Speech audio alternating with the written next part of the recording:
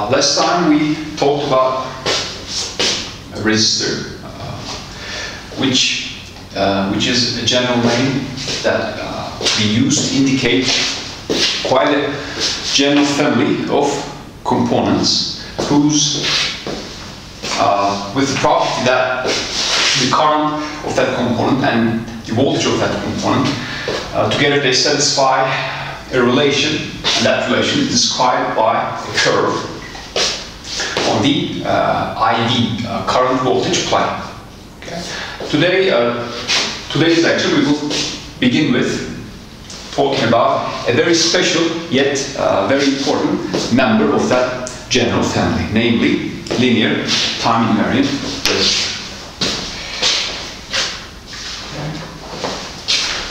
So LTI, so this is the abbreviation that we use for linear time invariant. Linear time invariant resistor. Okay. So let's define what it is, and then we will uh, figure out certain important properties of that component. First of all, the schematic representation is uh, like this. Suppose this indicates its voltage V of t, and then we obey passive sign convention. If this is the voltage, therefore this has to be the current, the current of that component. And somewhere around that spring-like shape, you see a number. Okay, and that number is usually as a symbol indicated by R. Okay. Now this R is a constant, and it relates voltage to current through this linear identity. Okay, voltage is always, at all times, proportional to current of this component. And that proportional constant is called the resistance of linear time invariant resistor. And this is coming from, or is directly Ohm's law. Now, the, uh, if you draw that relation on the IV plane clearly, this is what we have. V 0 i, this is the origin, and the relation is linear. It's a line that passes through origin, and the slope, if i is vertical axis and v is the horizontal axis, the slope is so-called conductance of the resistor. Okay, and G equals 1 over the resistance. Okay. Now, again, usually, okay, in practical uh, applications, R is positive, but this definition doesn't care about the sign of R, so R can be positive or negative. What's important here is that R is a constant. Okay. Now that R, as we said, has a special name, slope, resistance, it's called, and it's measured in volt per amps, and that has a special name, that unit has a special name, it's called ohms. Okay. Ohms. And we use the capital omega, the Greek letter, to, uh, to indicate that unit. And G, the slope here, which is 1 over R, is called the conductance of the resistor. Okay. And it's measured in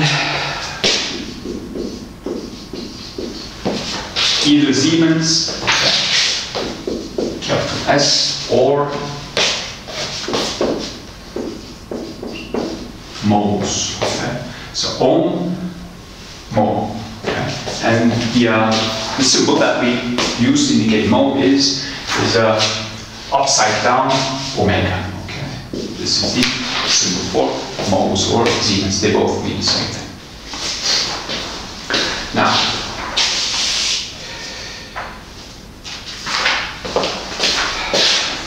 an LTI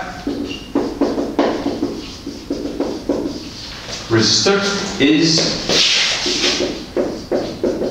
both voltage and current controlled. Okay, that is, it's clear from this picture you choose any voltage from minus infinity to plus infinity, and for that particular voltage, that always corresponds a unique current. Okay, is an operating point, and then likewise you choose any current from minus infinity to plus infinity, and for that particular current, there always exists a unique voltage uh, in the on this on this curve. Therefore, an LTI resistor is both current and voltage controlled, except for the following two cases. Okay? Current controlled for all resistance values for all R except R equals zero. Okay, R equals zero means that the slope is infinity, or R equals infinity. R equals infinity means that the slope is zero. So either if uh, the slope is infinity or zero, then it's clearly not both voltage and current. Okay, R equals zero and R equals infinity. Note that R equals infinity, same as G equals zero, the conductance is zero. Okay. Now, let's briefly talk about the R equals zero case. This corresponds to a zero resistance uh, component. Okay, it's a perfect conductor.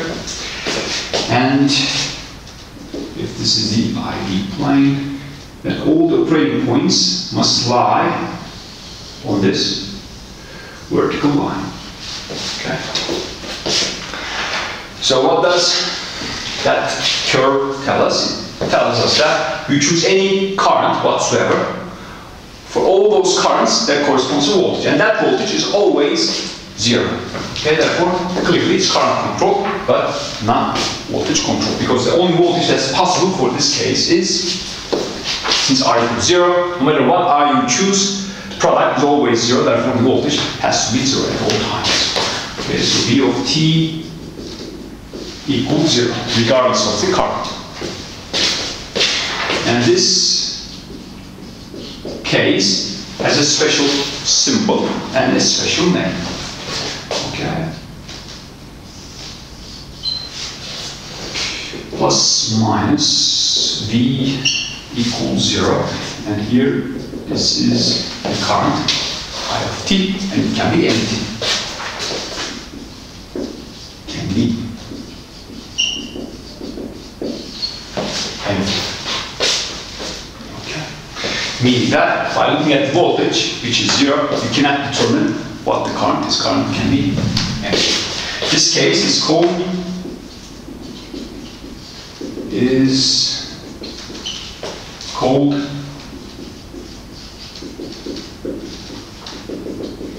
short circuit. And let's also quickly talk about the other extreme case, R equals infinity or G equals zero case.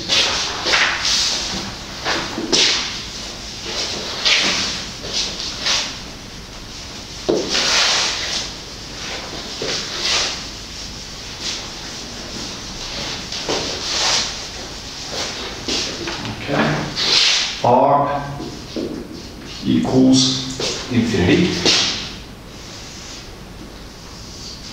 Okay, we have i v zero. In this case, all the operating points must lie necessarily on the horizontal axis. That is, no matter what voltage you choose, the current is always zero. I of t equals zero. Okay. And the symbol for this case is a line that's broken in the middle, okay? And we call it open circuit. Here, this is voltage V of T. Now that the current is, excuse me, the current is necessarily zero at all times, and the voltage can be anything. This can be anything means that you cannot determine voltage by looking at the current because current is always zero. It gives us no information whatsoever regarding the voltage of this component. In this case, the other extreme, the first extreme was the short circuit case where the voltage is always zero. Now we have the opposite case where the current is always, and this case is called open circuit. Now, uh, let's talk about the power of an LTI resistor.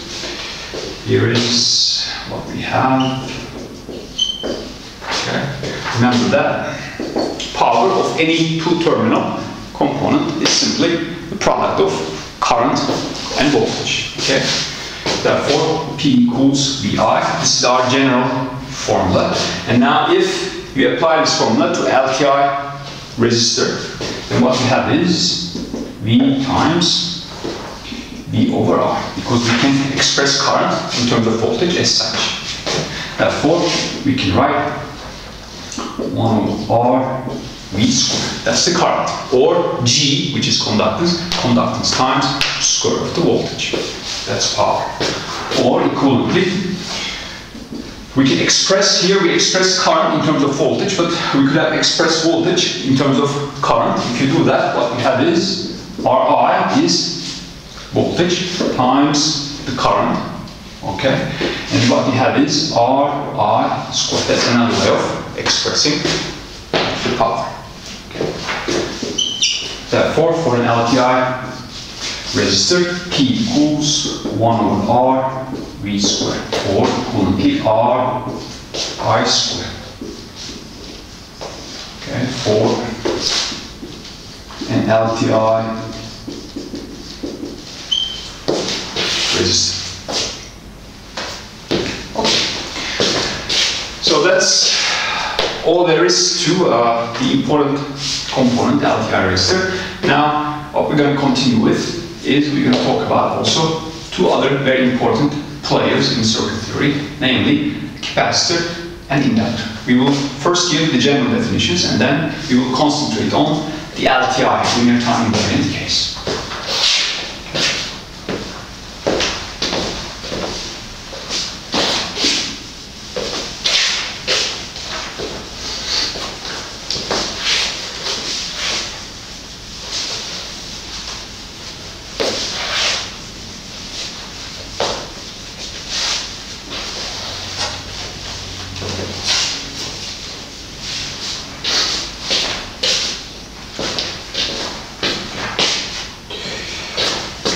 Now we have our next element, capacitor. Here goes the definition. Again, it's a two-terminal component like resistor or current source or voltage source. Two-terminal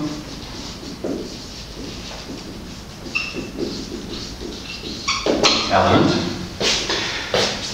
And it has a very remarkable property, which is, for instance, not shared by resistor. It can store charge. And being able to store charge makes it also able to store energy.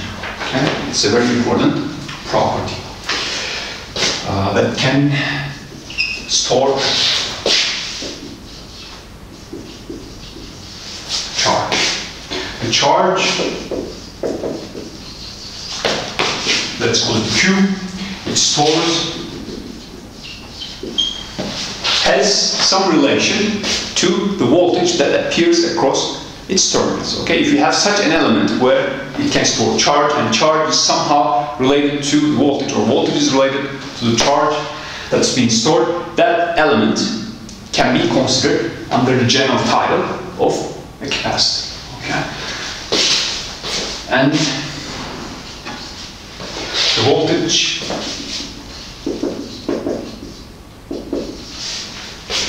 let's call it V across its terminals.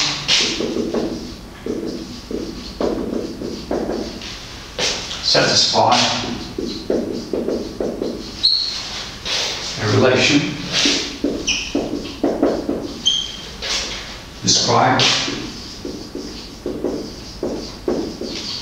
by a curve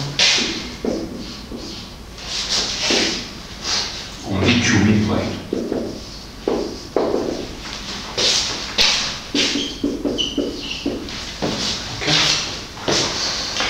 So the symbol that we use to indicate uh, the capacitor in our drawings is those two uh, parallel lines. Okay, these are the terminals, and then suppose that this is voltage, and then this is the current of the component or capacitor, and somewhere close to that symbol, you place the charge, charge of the capacitor Q. Okay. Example. V Q. Suppose that we have a component that can store charge and the relation between the charge that it stores and voltage that appears across its terminals satis satisfy this linear relation and then that would be a capacitor. In fact, this is a very special type of capacitor which we will study most. It's called LTI capacitor, linear time invariant. But by no means this definition is restricted to this case. Okay, you can perfectly imagine case where charge and voltage dependence is described by such an unusual uh, shape. Still, according to our definition, that's a capacitor. And the physical actual component looks, at least in the idealist, idealized case, follows.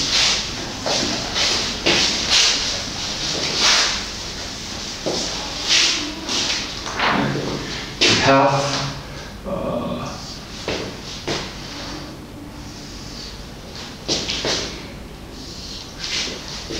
two parallel plates. Okay.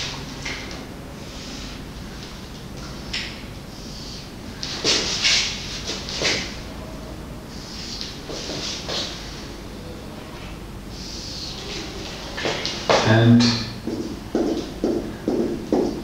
between them, sandwiched, is an insulating material. Okay? And the charge can be stored on the plates. And if you have charge that's Q, okay, on one of the plates, then on the other plate we have minus Q, so that the total gives us zero. But when we say the charge of a capacitor, we don't add this plus that because that's always zero. When we mean when we use the word charge of mean uh, uh, the charge on one of the reference plates. Okay. So this is the current, and that's the current. Mhm. Okay. And here, this this is the voltage that appears across two plates or across the terminals of the physical device. This is between the plates we have insulating material.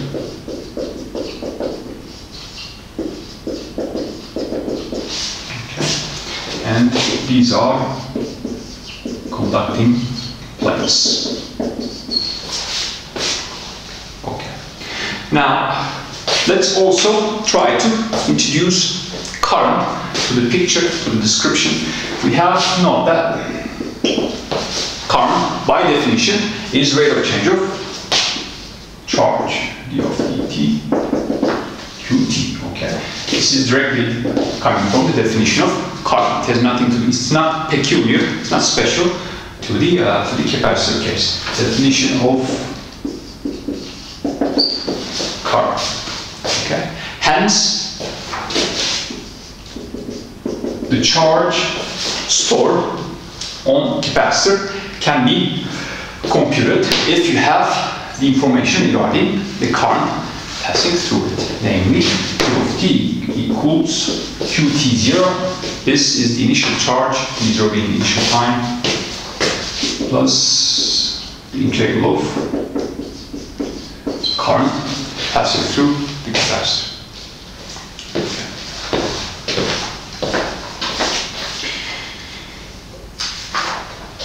Now this is the general definition of a capacitor.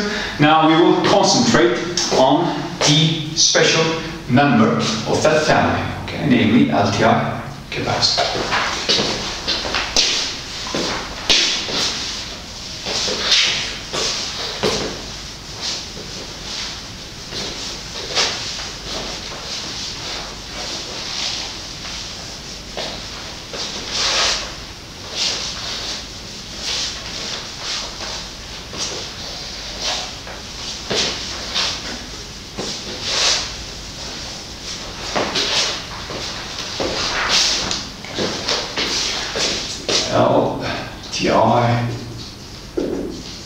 Capacitor. Now remember the definition of a capacitor, a general capacitor. Capacitor is such that component, two-terminal component, can store charge and the charge and the voltage that appears across its terminals satisfy certain relation.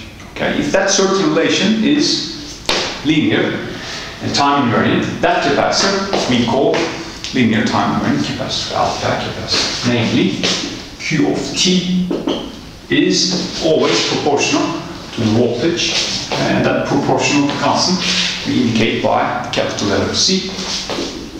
Okay, so if this is a relation, that is, if you can find a constant C such that charge and voltage of your component always satisfy this relation, then your component is an LTI capacitor.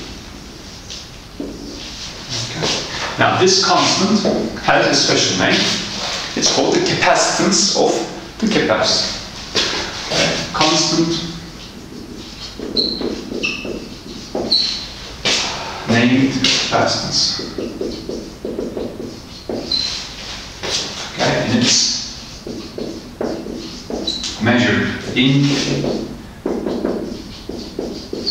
farads. Okay, capital. Now, starting from this relation, let's try to obtain a relation in terms of current and voltage, because usually that's what we like to work with, current and voltage. So that's the next question that we will try to figure out. What's the ideal relation for a linear time invariant capacitor? Okay. So we start from the definition of current, which is here. I of t equals d dt qt. Okay, so that's the definition of current. And now we want to obtain the ideal relation for LTI capacitor. For LTI capacitor, we can express charge in terms of voltage as such. So we have d over dt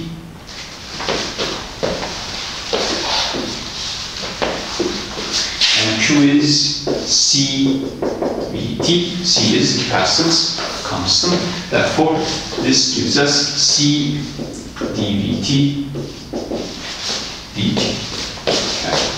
Therefore, the current of an LTI capacitor is always proportional not to voltage, because if it were proportional to voltage, then it would be a resistor, but it's proportional to the rate of change of voltage.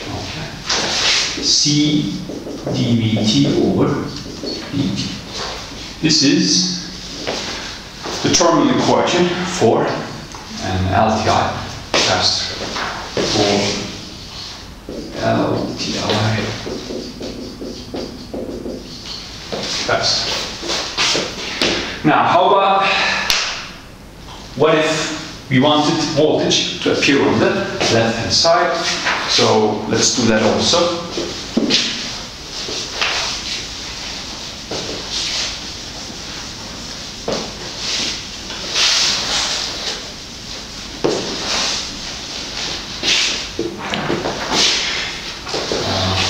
equivalently,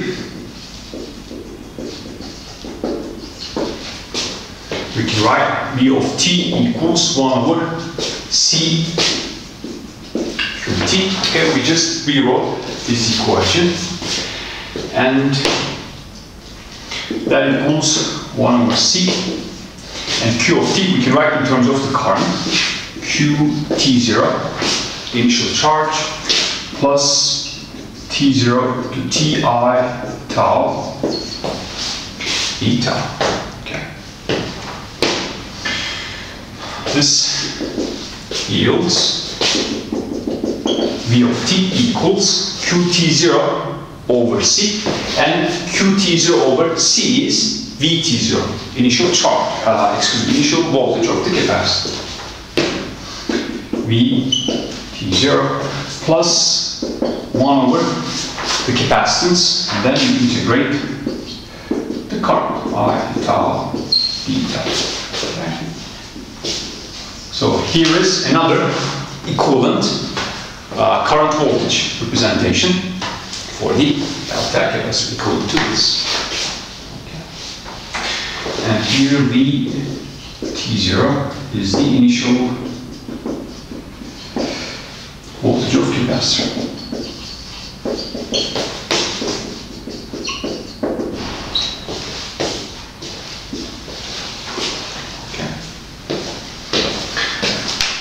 Now, now we will talk. Now we will talk about briefly uh, inductor, in, particular alkaline inductor. But before that, let's put uh, those terminal equations of capacitor into use in very simple uh, toy examples.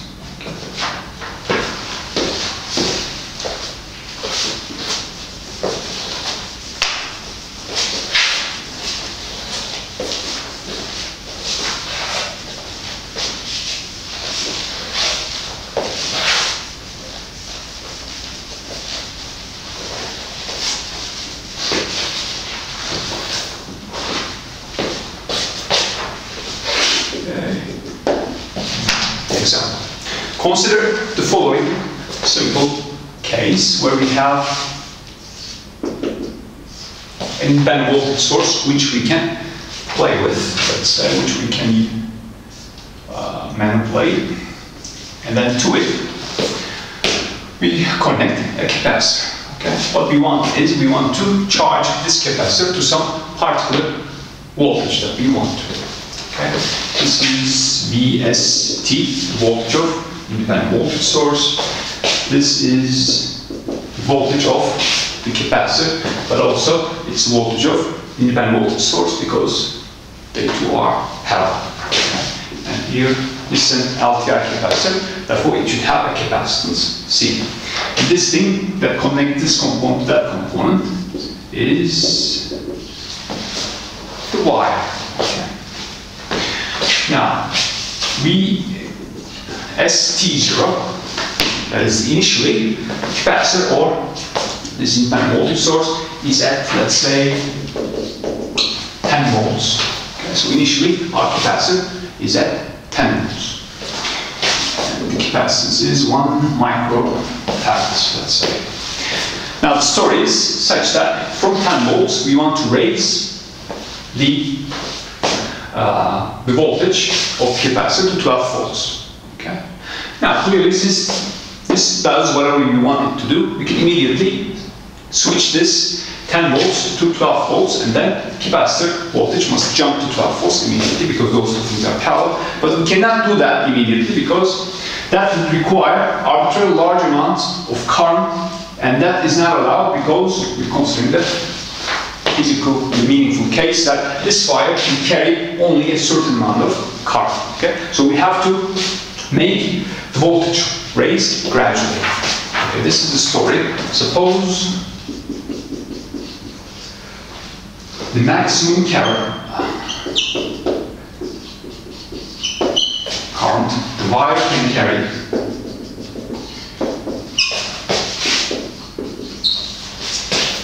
is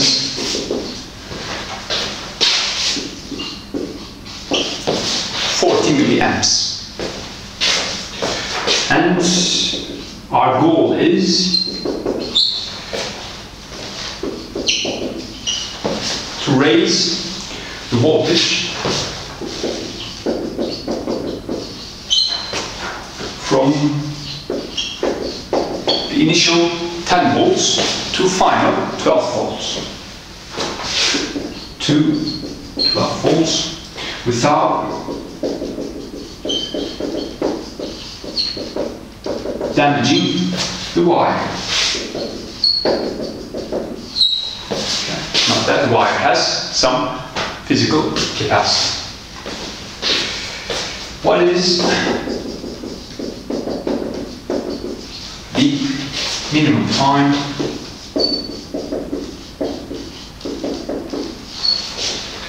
required. Okay, because we want to do this as fast as possible, time required for voltage raise.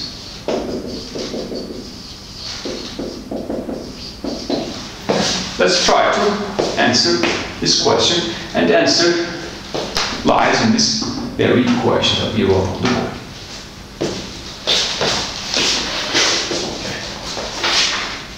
So let me try to squeeze a picture here. 1 microfarads. Okay, so this is t seconds t0 plus delta t. So initially we're at 10 volts. Okay, VST volt. And then we want to raise the voltage to 12 volts. Okay some future time. Okay. Now we want to do this as fast as possible. Therefore, we want this delta t to be as small as possible. And the question asks, what's that smallest delta t possible? Okay, while obeying this constraint that we don't want to break, we don't want to break the wire. Okay. So here is the answer.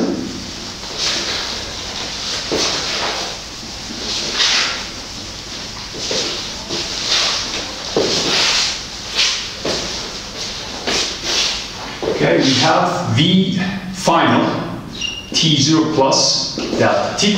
What's T final? We don't know what T final is because that's what we're trying to figure out. In fact, what we're trying to figure out is delta T. Okay, equals V initial T0. By the way, T0 is arbitrary. Here we can take, if you want, to be 0.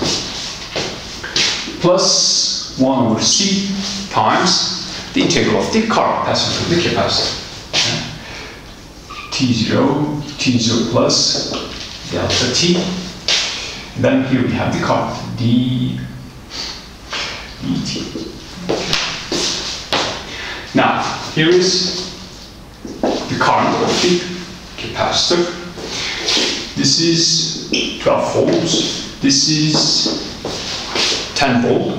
Okay, and this is the current of the capacitor. Now, because we want this delta V to be as small as possible, we want to use, we should use uh, the current that's as large as possible without breaking the wire, and that current is 40 milliamps. Okay, so here we should be working with maximum allowable current, I max. This is 10. This 1 over C is 1 over 10 to the minus 6 farads. Okay, because capacitance is 1 microfarad. And this I max is 40 10 to the minus 3 amps because it's 40 milliamps. Okay. And then putting everything to the equation, we have 12 equals 10 plus, since this is constant, the maximum is constant, so it's very straightforward integrated. It's simply I max times delta t, okay, which is 40 times 10 to the minus 3 delta t, and we have over 10 to the minus 6 farads. Okay? Now if you solve this equation for delta t, you obtain delta t equals 5 times 10 to the minus 5 okay. seconds, okay, and that equals 15 microseconds. So this is the fastest, this is the smallest time that you can do this voltage raise. If you want, if you attempt to raise the voltage, let's say in 40 microseconds, then somewhere between you have to exceed this uh, maximum allowed, allowed current and then at that point the wire will break. Okay. Here's another very short example that uses the other equation capacitor.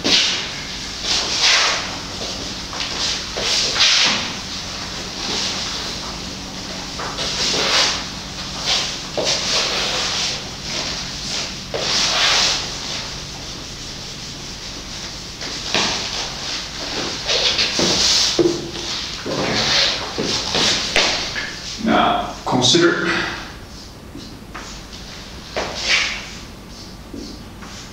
again this very primitive uh, circuit connection. Here we remember this symbol is the symbol that we use for constant uh, voltage source, namely battery. Suppose that here we have a battery of 12 volts and it's connected to a capacitor as shown. Plus minus V this is a linear time invariant capacitor with capacitance C. And the question asks, what's this current at any time? Note that is a battery, so that means the voltage that it provides is 12 volts at all times. Okay, it's constant. Okay, that means this voltage is constant. And then whenever the voltage is constant for an LTI capacitor, it means that the current, it means that it's not charging Okay, its charge is fixed because constant voltage means constant charge, constant Q, and constant Q means, by definition of current, zero current. So I equals C dV dt. So that's the terminal equation for the LTI capacitor. And dV dt, because the voltage is constant, is zero. Therefore, the current must be zero in this simple situation. Therefore, capacitor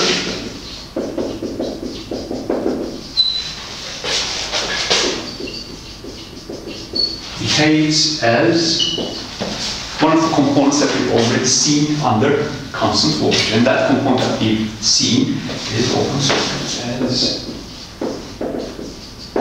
open circuit under constant voltage, and constant voltage has another name, we sometimes call it DC voltage, under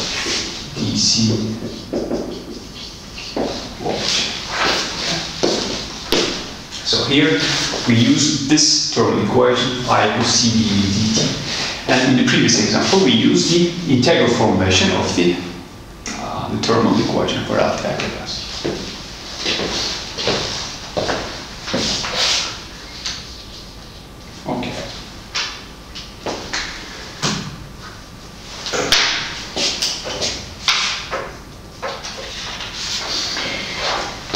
Now, before we move on to the inductor, the next component, let's also talk about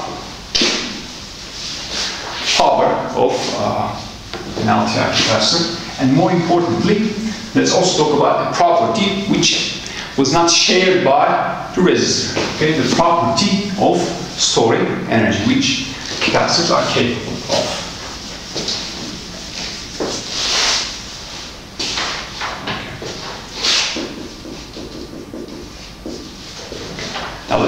the power of LTI capacitor. We start from the definition of power for any two-terminal component, which is the product of voltage and current. We have VT. Then, for an LTI capacitor, we can express the current in terms of rate of change of voltage, namely C dVT dt times VT. Therefore, this is power represented in terms of voltage for an LTI capacitor. Okay, so let's put that in a box. P of T equals CVT times rate of change of voltage dVT dVT. Okay. For LTI Now from power we move to energy, stored energy. okay, this makes sense for passive capacitors only. This definition makes sense. Passive capacitors only, and, and for an LTI capacitor, it means it's passive if its capacitance is positive. Okay, now we're considering the positive capacitance case. Now, work or energy is the integral of power. Okay? So we start from that definition and stored energy is such that you start integrating from minus infinity. P tau tau. Okay. Now, this, using this relation that we just obtained, this integral can be written as V at minus infinity, V at time t, CV dV. Okay, we use this PTBT equals CVDV, and that's what we did. We replaced this with CVDV. Okay. That equals what? Now, by definition, this voltage at minus infinity is zero. Okay, this equals zero by definition. By the way, this minus infinity, you can just take any past, any time, any instant in the past for which capacitor is totally uncharged. That is, it has zero voltage. Okay. So by definition, this is zero, and then what we have is 1 half CVT squared. Okay. So therefore, at any given time, the stored energy at an LTI capacitor is proportional to the square of the voltage. An exact formula equals uh, is that energy equals 1 half C times V squared. Hence, energy stored in an LTI capacitor is W, or sometimes we can use E equals 1 half C and then square of the voltage or you can use, you can express this also in terms of the charge, because voltage and charge are related to one another through a linear relation. You can write this also as 1 half 1 over C Q squared. Q is the charge of the capacitor. Okay, so that's the stored energy.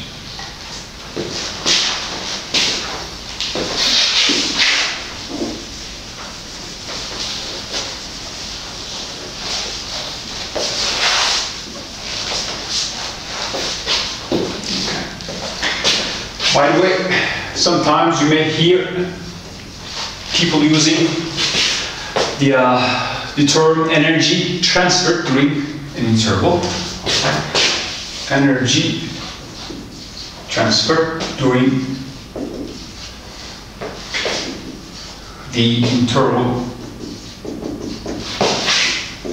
t0 to t. Let's say t is the initial time, t is the final time later than t0 regarding capacitor, it simply means, okay, delta V simply means the difference between stored energies at the final time and the initial time. Okay, WT0. And this is the stored energy, therefore that equals one half C, and then you take the difference of square of voltages, Vt squared minus Vt0 squared. And how to interpret the sign. Suppose that you computed energy transfer for some capacitor in some circuit and for some uh, interval.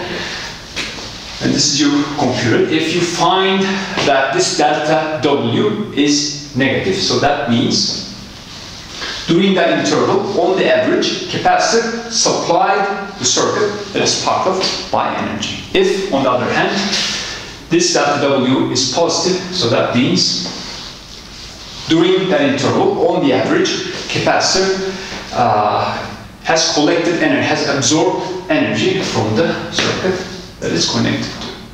Okay. Now we will continue with inductor uh, in our next lecture.